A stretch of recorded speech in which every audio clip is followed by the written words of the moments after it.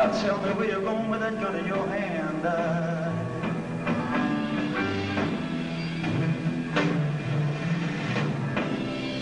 I'm going down to shoot my lady because I caught her messing around with another man.